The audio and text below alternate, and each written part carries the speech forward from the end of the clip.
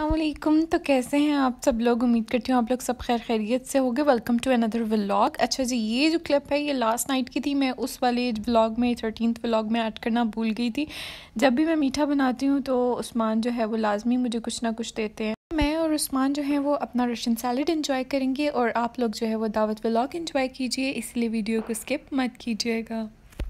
Menu जो है वो पहले ही से जो है एक हफ़्ता गैदर कर लिया था कि मुझे क्या क्या कुछ बनाना है। मैंने बीफ टिक्के का सोचा था कि बीफ टिक्का बनाना है।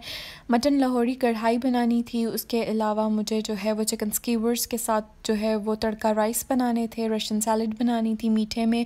शीर बनानी थी और साथ गुलाब जामुन ऐड करने थे। और इसके अलावा चिकन जिंजर बनाना था। तो बस यहाँ पर मेन्यू मेरा गैदर हो चुका था।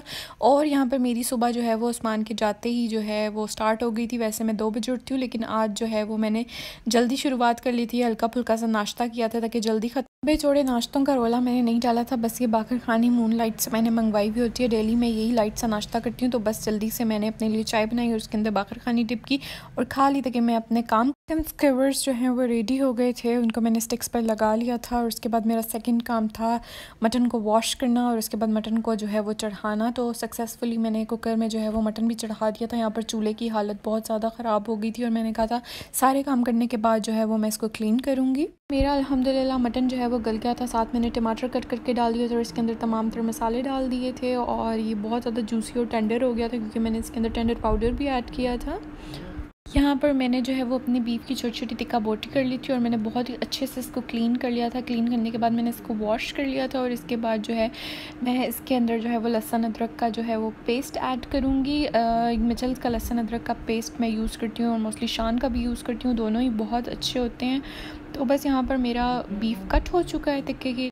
यहाँ मैंने जो है वो अपने मसाले ले लिए हैं और इनको जो है वो मैं ग्राइंड करूँगी। रेडीमेड मसाले मैं बीफ टिक्के में ऐड नहीं करी। मैं ख़ुद से जो है वो इसके अंदर मसाले ऐड करूँगी। इसमें मैंने सूखा धनिया, अजवाइन, ज़ीरा और इसके अलावा दड़ा मिर्च ऐड की है और इसके बाद मैं इसको जो है वो अच्छे से जो है वो ग्राइंड कर लूँगी। अच्छा मुझे इसको फ़ाइन ग्राइंड नहीं करना। मुझे इसको थोड़ा सा दरदरा रखना है क्योंकि बीफ टिक्के में जो है वो थोड़े मोटे मोटे मसाले ये जी मेरा मसाला जो है वो रेडी हो बिल्कुल दरदरा सा मोटा मोटा सा मसाला मैंने जो है वो पीस लिया और अब मैं इसको जो है वो अपने बीफ टिक्का में ऐड करूँगी। ये बीफ टिक्के की रेसिपी जो है, ये मेरी नानों की रेसिपी है और ये बहुत मज़े का बीफ टिक्का बनता है।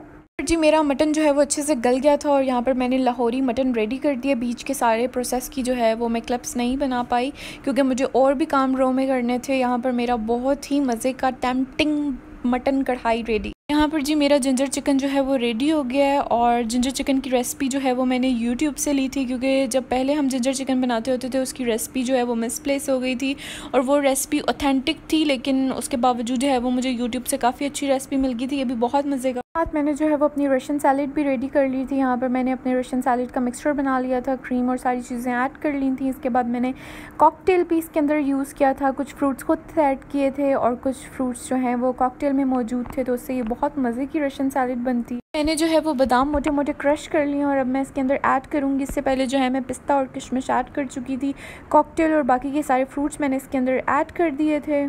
साथ ही साथ मैं जो है वो शामी कबाब भी डीफ्रॉस्ट कर चुकी थी और इसके बाद जो है वो मैं साथ साथ शामी कबाब भी फ्राई कर रही थी। तो यहाँ पर बस मेरे शामी कबाब फ्राई हो रहे हैं। आपके साथ साथ जो है वो मैं चिकन स्केवर्स का जो है वो रेड सॉस भी साथ रेडी कर रही थी, साथ साथ शामी कबाब फ्राई कर रही थी और ये बस मेरा लास्ट काम था।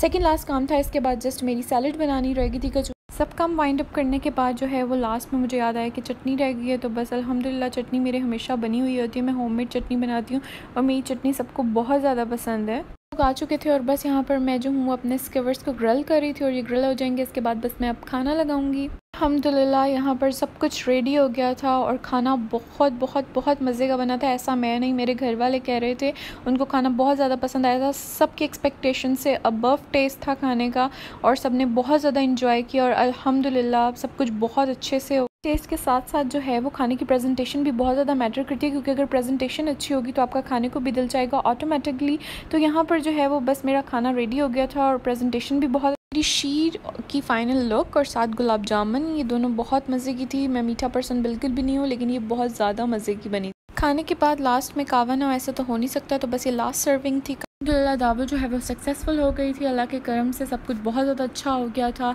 और यकीन माने, जब पूरा दिन थकने के बाद आपकी कोई तारीफ़ करता है तो आपके पूरे दिन की थकन जो है वो यूँ ही उतर जाती है।